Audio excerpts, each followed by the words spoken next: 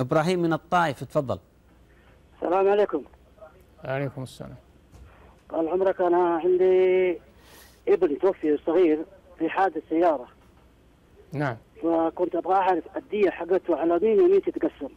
يعني في عنده أخوان وأخوات.